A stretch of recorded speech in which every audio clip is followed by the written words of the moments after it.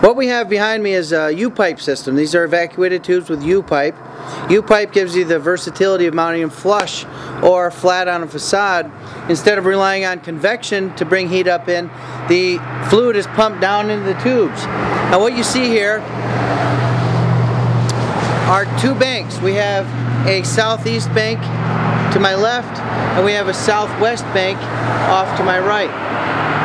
One of the benefits of doing a system such as this is, for one thing, we don't have that south, south facing facade.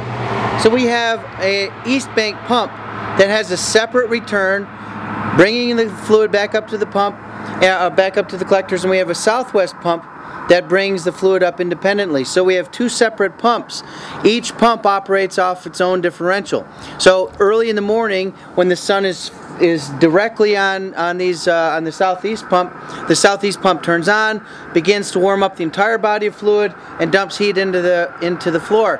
As the day progresses, the western side heats up, and the western side pumps in. Now we have two separate returns, but we only have one supply. So both both uh, heated heated loops tie into one common supply that feeds our floor. Uh, we'll go in uh, inside in a moment and, and I'll show you how that's tied in through a brazed plate heat exchanger directly into our floor. This is a very large thermal mass. So we're doing really, really well in the shoulder seasons in the spring and in the fall. We're, we're reducing our, our uh, boiler load uh, almost entirely. All right, so uh, I'll see you in a few minutes. Hi, this is Todd Pattern Oster here with SunMaxx. Uh, I want to show you the inside of our U-pipe system that ties into our radiant floor. Uh, this is a 6,000 square foot warehouse and we have 80 square feet of collector. So the solar fraction is pretty small, about 15%. But let me show you how, uh, what we have here. Okay, as I mentioned, we have two separate uh, returns going to the collector.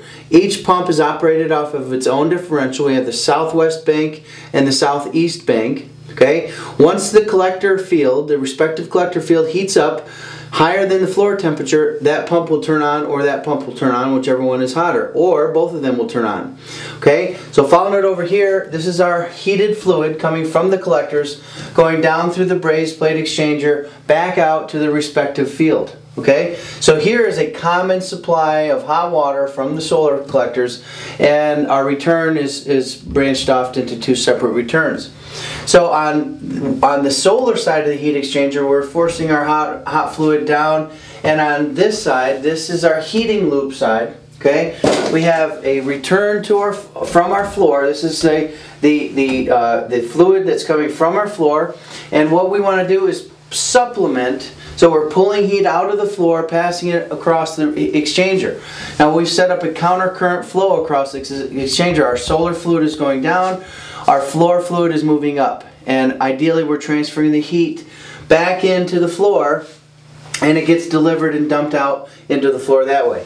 So this pump will turn on when our heat exchanger, see this sensor right here, when this sensor reads a temperature of 17 degrees hotter than our floor, based on this temperature sensor here, then this circulator will kick on. The, the relay will close, circulator will be energized, and we're going to pull floor fluid across the exchanger, exchanging with solar fluid. And so we have a very simple countercurrent flow, sol, flow uh, solar side, floor side, and what that does is it reduces our demand on the boiler indirectly by dumping every single BTU that our collectors make into the floor. You don't see any storage tank So we opted for a no storage tank system. Our floor represents more storage than our collectors can handle. So every day we're dumping heat into the floor. Now one thing you may have noticed is those collectors are sitting uh, perfectly vertical on the facade. So in the summertime, when the sun is higher in the horizon, the summer production is actually less than our wintertime production. So as we get closer and closer to the winter solstice, the production of our collectors goes up.